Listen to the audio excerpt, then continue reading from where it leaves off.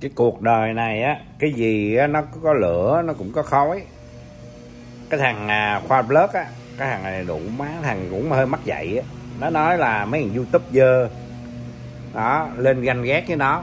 Nói thật ra á, mày không có nói cái gì á thì người ta cũng đâu có nói. Mày lời người ta đâu có thèm nói gì cho mày chi mày có cái lửa người ta mới có cái khói. Nói cái chuyện khó nghe quá người ta mới lên người ta nói còn nó có chuyện giống như mấy cái thằng youtube á, mà nó tới nó quay cái cái quán lẩu của mày để nó lấy view á, mày nói mấy thằng youtube đó là mấy youtube gì? Thấy không? Nói chuyện á, phải rạch tẹt ra, rõ ràng, cái nào ra cái đó ha không? Mình làm youtube là mình người công chúng. Thứ nhất, thứ hai á, là nó cái cùng mày cũng may mắn là có nhiều cái view một chút. Rồi người ta vô, người ta coi. Đừng có làm riết á thì nó thành ra, nó đâm ra, nó không chẳng ra cái hệ thống mẹ hết trơn á. Thì đã nói rồi. Ta đã nói rồi, thì làm cái gì á, để cho nó bổ ích cho xã hội. Làm nói cho nó đúng. Nói cho nó phải để người ta bắt trước người ta theo. Nó nói những cái chuyện mà sai, người ta có quyền lên, người ta nói. Đừng có nên nói người ta là youtuber.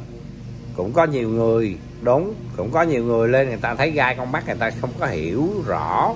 Người ta kêu mày nổ. Nhưng mà ta nói những cái video trước ta đâu có nói mày nổ đâu. Nhiều cái nói cũng nghe cũng đúng á, nhưng mà nói nghe nó chói cái lỗ tai, bởi vì người ta ghét. Nó là vậy đó, chứ không có mẹ gì hết trơn á. Ừ có cái gì đâu mà lên mà chụp nhau cắn xé với nhau, làm cái mẹ gì? Chí vậy, ha? Còn ở nhà hàng của mày á, mày mở được, mày mở không được kệ mẹ, chứ có gì đâu, nếu mà được thì tốt thôi ừ tại vì nó có chuyện á, là nổ quá, nó làm quá, thì người ta mới lên, người ta mới nói, người ta mới phân tích. Cái nào đúng, cái nào sai, cái này tự do mà, mình có quyền, thấy không? Chứ không có ai mà ganh ghét với mày làm cái mẹ gì đâu. Ừ mày cuộc sống của mày mày có cho người ta cái đồng nào đâu mà ganh ghét người ta làm cái gì. Đó, vậy thôi. Ha đó, còn nói mấy cái thằng youtube nào đó mà nó đi xuống nó lấy view của mày đó, dưới cái nhà hàng của mày đó, thì tao bảo đảm. Không có thể nào đi qua đi lại nhiều lần đâu. Đi một, hai lần để lấy view chơi vậy thôi. Lần thứ hai, thứ ba mày coi cái nhà hàng mày cho mày biết. Mình làm một cái nhà hàng á, mình làm sao á, mình phải coi cho nó hơn người ta. Đồ ăn, đồ yến, uống cái chính đó người ta cần á là những cái đồ ăn, đồ uống giá cả phải chăng hợp lệ để người ta ăn thôi chẳng qua người ta ăn cái nhà hàng của mày đó một tháng hai ba tháng đầu rồi ta đi lấy view thôi đừng có mừng mừng dội. Nhưng mà ý mà nói chuyện đó tao khuyên mày lên làm ăn như vậy đó phải nói như vậy đó đó nó, nó chính xác hơn. Chứ nói cái chuyện mà mày nói là mở cái nhà hàng ra mày được bao nhiêu tiền bao nhiêu tiền đó người ta cắm cái đầu vô người ta mở nhà hàng á đụng mẹ thì người ta thua lỗ chết mẹ người ta tội nghiệp người ta. Nói nó đơn giản vậy thôi. Thấy không? Chứ đâu có cái gì đâu mà phức tạp gì đâu. Ừ còn mày đi về Việt Nam mày đi đâu cũng cái mẹ mày. Nhưng mà nói cho cùng nữa thì những cái video mày quay lên á thì có nhiều cái thì coi nó cũng vui. Thì ai thích thì vô coi chứ có gì đâu. Còn thích thì biến cút có cái gì đâu có hiếm trai gì video để mình coi thấy không? Chẳng qua là mày được một số view á, rồi người ta thấy lên người ta đã thấy lúc đầu người thấy nói chuyện cũng có duyên. Không? Là bắn qua vương phạm vương phép gì câu lùi gì tao không biết cái chuyện gì ở trong đó nhưng mà nó có chuyện á làm cái gì cũng vậy, cho nó thực tế chút xíu. Mày với thằng Phương Phạm, ta thấy ờ, cũng hơi ờ, mờ ám chút xíu đó.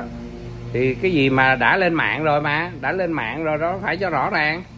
Thấy không? Còn nói chuyện anh em ăn nhậu nhạt với nhau thì đủ ta lỡ lời rồi, xong rồi rồi bỏ qua ta là dân thường mà, rất bình thường. Mình đã là người, có nhiều cái view rồi, là người của công chúng rồi, mình phải nên nói như những cái gì cho nó đúng. Nó phải, nó chân thật.